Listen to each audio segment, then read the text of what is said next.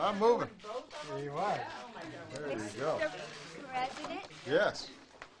when I first putting it- heard say a little bit that somebody special was uh, coming, Yeah, you thought I it was. really wanted it to be Beyonce. I understand. But then I, Mo, Mo, I figured I, out- Malia and Sasha would feel the same way. Oh, that you thought we were going to be Beyonce? It's a disappointment. But then I realized it was gonna be you. That's even better. Oh, see there.